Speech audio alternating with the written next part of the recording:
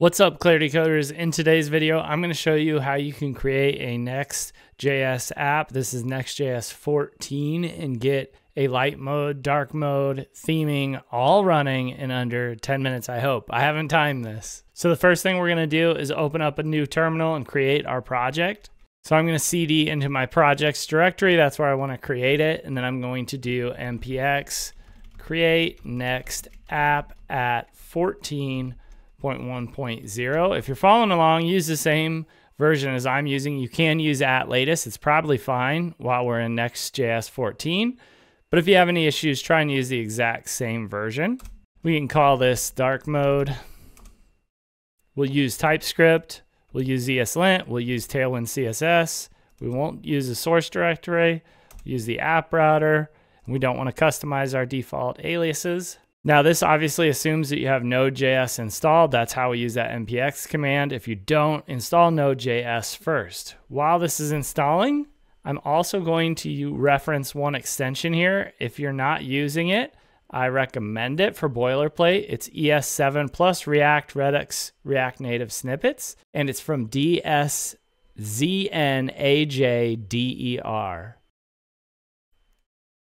Now that we have that installed, navigate to that folder wherever you installed it and let's open it up. So I went into my folder structure here and we'll open folder and I'll see you once you have it open.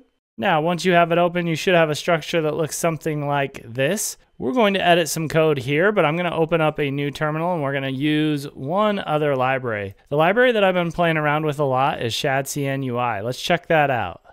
So what's cool about ShadCN UI is it's allowing you to build your own component library from their components. So you're not going to do an npm install and manage a bunch of packages. You can actually import the components directly into your code and then work with them, manipulate them however you want. So let's head over to ui.shadcn.com, hit the docs, and we'll hit installation and we'll choose Next.js. Now the first is going to show you how to install and create your Next.js project. We've already done that. Let's install ShadCN UI. So I'm going to grab the second command npm and back in our code. I'm going to paste that into our terminal. Now we'll go through some prompts here. We'll just use most of the defaults, I think. So we'll use default, slate. Do you want to use variable names for colors? Yes. We have the structure now to do theming. So let's take a quick look at the app folder and then our global CSS. Now here you'll see that they've defined some colors for us. You'll see background, foreground, card, card foreground. And if you slide down, you'll also see that they've implemented a dark mode as well. I'll close out of this so we can see it better. So you can see all the different variables that you that you have available to you here. So the first thing we can do is back on ShadCN UI we can go back to themes and here we can pick out one we like. So let's say we like this red one here. We can do copy code. You can also do customize and pick from a larger list here if you'd like. So I'm gonna hit copy code and then you'll see this is the at layer base. So it's that same code that we were checking out. This is just for that red theme that I picked out. So I'm gonna hit copy here. Now back in our code, I will scroll up. So we want to grab that at layer base, copy all the way to the bottom. We don't want to remove this at layer base below, however. So we should have something that looks like that and we'll paste in our new code. So now we should have the new style that we want to use in our application. Now, if we go back to the docs here, we can click on dark mode and we can select Next.js. Now, one of the things that we have to do is wrap our entire application with a theme provider. And that's going to use client. So we're going to separate it into a new component. So let's copy this code. And then back in our code here, in my components folder, I can create a new file and I can call it theme-provider.tsx. And I can paste in that code we borrowed. And you can see that it's a little mad at me. It needs next themes. So let's open up a new terminal. We were going to do that anyways. And it actually covers that in the documentation. I skipped that step. So we can install next themes.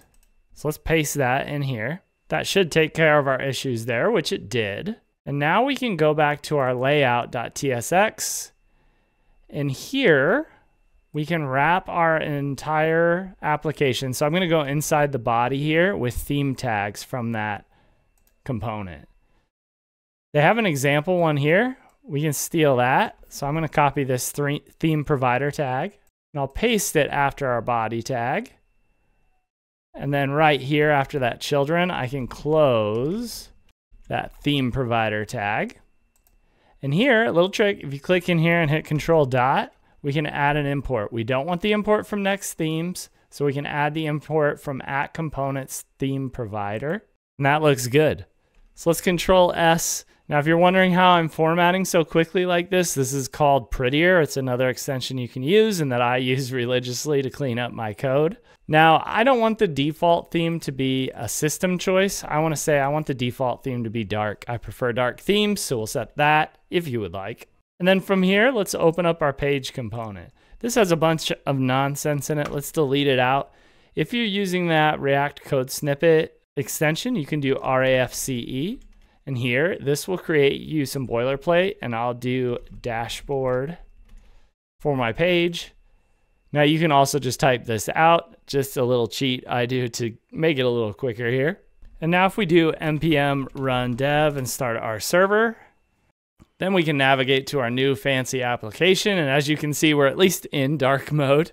Uh, we can't switch or anything like that, but we got a cool blank application here and it is themed even though it doesn't look like it. So here, for example, I can do p tags, paste that around here. I can do class name, and then using Tailwind, I can do text dash primary to set the color. And if I go back, you'll notice it's taken our theme color there. But first, I have an exciting new course out that I want to show you and get to you for cheap or free. Now, if you like this tutorial and you want to take it to the next level and build totally custom applications from start to finish, I have a brand new ticketing tutorial on Udemy that you can check out right now.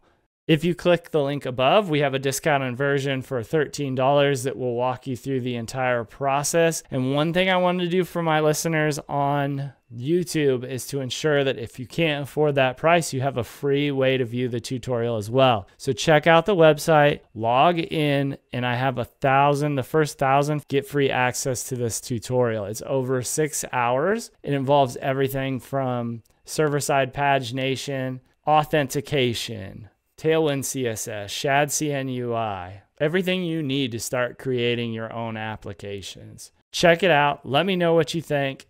Okay, so our theming is working. I don't really want that, so I'm going to delete that out. Control S. Inside our components directory, let's make a new file called nav.tsx. Here we can do our RAFCE. And then we can set up a basic navigation and then a light mode and dark mode on top of that. So let's do nav tags. So we'll do lowercase nav here. Then inside that, we can do a div. This is going to control all of our navigation. So here, we can set our class name to flex, flex column. Let's have our navigation centered so we can have items center. After it, let's have a border on the bottom and a margin bottom of 5. Let's say we want padding of 5 as well and our background to be secondary color. Okay? So then here, for this div, we can say our class name is flex and we want to justify between our items.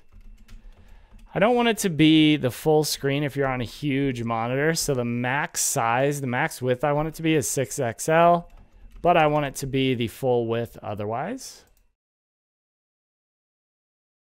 Now inside of here, we can have two sets of divs. The first divs can be our navigation menu. And then the second can be log out, log in, dark mode, that sort of thing. We're not going to do all that, but I'll show you here. So let's start typing a link tag and we can slide down and tab on this, the next link one, and you'll see it does our auto import. Now links have to have an href. So here we can just set it to go to our root page. And here we can set dashboard as a link. And these are going to be kind of bogus links for right now, but I will paste, paste. We'll do users and tickets. And then let's copy a couple of these and we can say down here, we want this to be log in. And this can be our toggle for light to dark. Delete that extra one. All right, that's looking good. Let's get it in our project. So on the layout tab, back on the layout tab, let's add this nav to every page. So we want to add it here. So I'm to start typing nav. My auto import is going to be from at components nav. This is what it looks like if your IntelliSense doesn't work. We can close that tag. And now if we go back to our project, you'll see it's really not pretty, but you'll see our different background color up here, and all of our links are mushed together. So back in our code, let's quickly, I don't know where I'm at in time. I gotta, I got to be going over items center for this. And let's do a gap of 5. And let's copy this to our other set here as well. Quick look. Oh, much better. So that all looks good. Now, what if we want to do a little styling along with our theme? I know I'm adding more. I'm feature creep right now. So let's go global CSS. Say we want a hover effect for all of our A tags. We can add an A here and we can say at apply. Let's say we want a hover and the text to be primary like that. So now if we go back, all of our links should have a nice hover effect. I don't know if I'd call it nice, but they have a hover effect. All right, let's get to the bread and butter of what we wanted to do here. Now our nav right now is a server rendered page. You'll see how we're not saying use client. We need our toggle mode to be client side. So I'm going to create a new component called toggle mode.tsx. In this component, we can do RAFCE. And at the top, the one difference we want to do is we need to use client for this component. Now let's kill this terminal. And from ShadCN UI, we also want to use the button component. So you see we have a nice cute little button here. It's easy to use. Let's copy this. That's the npx shadcn UI at latest add button. And I'll show you how this component library works. It's really great. There's no way this is under 10 minutes. So you'll see it creates a UI folder here and the button code. Now this component is, is now part of your component library. So they want you to be able to manipulate it and use it how you would like. You can see the code, how it works. And you can even use this to set up your own buttons down the road. So we're going to use this in our toggle mode to create a moon and a light button. So we need to keep track of some state. So here we're going to get React. We can also get use state and use effect. Now you actually don't have to import React, so you don't really have to do that. But we're also going to import use theme, and this is from Next Themes. So I'm going to tab there. Watch out for that extra curly bracket. We're going to import moon and sun from lucide-react. This is either part of the themes that we installed or part of ShadCN UI. I can't remember, but we're going to use those icons. And then we'll import button from dot slash UI slash button. So we're just importing our own component there. This should be a capital B actually. Now inside our toggle mode, we need to get our theme and we need to be able to set theme and that's from use theme. Okay, so this is gonna tell us what our current theme is and this is gonna allow us to change our theme. Now we also need to keep track of whether our component is mount mounted or not. That's because we need to know if it's mounted so we can determine what the what the current theme is. And these should actually be square brackets. I apologize for that. This is going to be our state. So we'll throw those square brackets. That looks better. Got rid of our error. Then all we need to do is use effect to determine if this is mounted or not. Once this runs, then we'll know set mounted can be true. So if it's not mounted, let's just return a button where the variant equals. Now, if you look at the variant in TypeScript, we'll give you all the types so you don't have to look through it, but you can see that there's options for default, destructive, ghost buttons, link, outline, or secondary. Now we're using secondary as a background color, so I'm going to use secondary here. You can play around with those choices. Let's set the size equal to icon disabled equal to true, right? Because our component's not mounted yet, so we don't want them to actually click on it. And we can just leave it like this. It'll just be a blank button. So that's if it's not mounted. And that's because if it's not mounted, I can't tell what our current theme is. So then we can say const dark equals, let's look at our theme and see if it equals dark. Okay, so we're doing some conditional here. So if this is true, so if theme does equal dark, then our dark variable will be true. If it's light or something else, dark will be false. And now we can simply return our button here. So here we can do return button, just like that.